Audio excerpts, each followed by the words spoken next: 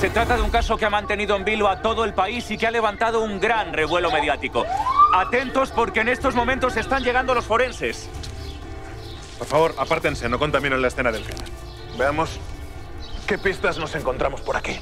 Perdone, eh, perdone, ¿y ese móvil? Pues gracias a este aparatito vamos a descubrir al culpable del crimen. Ajá.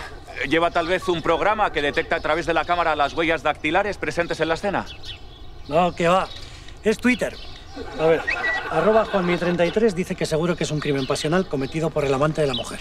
Y sin embargo, la usuaria arroba Saray arriba España asegura que se trata de un inmigrante que tenía contratado en negro. No lo entiendo. ¿Qué hacen? Pues ver lo que dice la gente en Twitter. Así se resuelven los casos más rápido. Venga ya. Pero si es una locura dejarse guiar tan solo por lo que dice la gente en Twitter. Jefe, puede que tenga razón. Menos mal. Alguien con dos dedos de frente. Veamos qué dicen también en Foro Coches. Bien visto. Por algo fuiste el primero de tu promoción. Pero no se dan cuenta de que ya ha habido casos donde se ha juzgado antes y luego ha resultado que el presunto culpable era inocente. De vez en cuando se comete algún errorcillo, como con las huellas dactilares, con las pruebas de ADN. Un momento. Creo que la investigación ha dado un giro inesperado. ¿Alguien ha confesado el crimen? No. La gente dice en Twitter que acaban de ver al tipo este comprando en el Primark de Gran Vía. Bueno, pues caso cerrado, chicos. Nos vamos. Pe- pe- Pero, pero si el cadáver sigue ahí.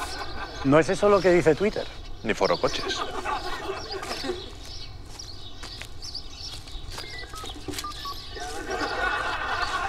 Hay que decirlo así, ¿eh? Hoy no, mañana. Porque si dices hoy no, mañana, pierde. Y todo esto aquí, sin ir más lejos, en hoy no, mañana. ¡Hasta pronto!